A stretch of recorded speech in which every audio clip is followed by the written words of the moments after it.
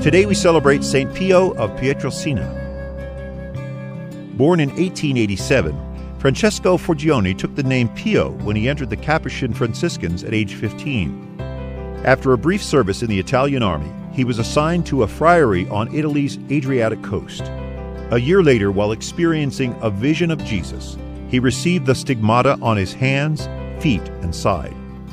Pio became a controversial figure as medical doctors and church officials attempted to verify the origin and authenticity of his wounds.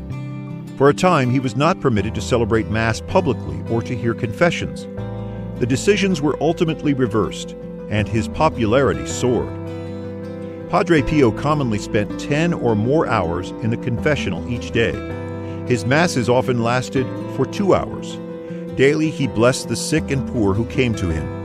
He was so moved by the suffering of the sick that he established a 350 bed hospital known as the House for the Alleviation of Suffering. Padre Pio died in 1968, and in 2002, Pope John Paul II elevated him to sainthood.